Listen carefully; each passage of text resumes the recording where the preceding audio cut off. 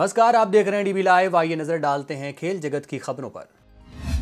Rio Olympic में रजत पदक जीतकर सिंधु ने जीता देश का दिल। ओलंपिक में सिल्वर मेडल जीतने वाली भारत की पहली बैडमिंटन खिलाड़ी बनी। सिंधु ने कहा, फाइनल में अपना बेस्ट दिया। जमैका के उसैन बोल्ट ने लगाई गोल्ड की हैट्रिक। रियो में नौ गोल्ड के साथ रचा इतिहास। 200 मीटर रेस को जीत, टाइमिंग को लेकर कहा, अब यंग नहीं रहा। डोपिंग के आरोप में नरसिंह यादव ने प्रधानमंत्री नरेंद्र मोदी से की अपील घर वालों ने की सीबीआई जाँच की मांग। नाडा की अपील पर कोर्ट ने नरसिंह पर लगाया है चार साल का प्रतिबंध।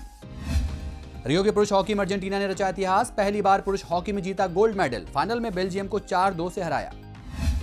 महिला कुश्ती में बबीता कुमारी ने हार के बाद फेसबुक पर डाला पोस्ट, कहा, देश के लिए फिर लड़ूँगी। यूनान की पहलवान मारिया प्रोवो प्रोवोलार्की से मिली थी शिकस्त।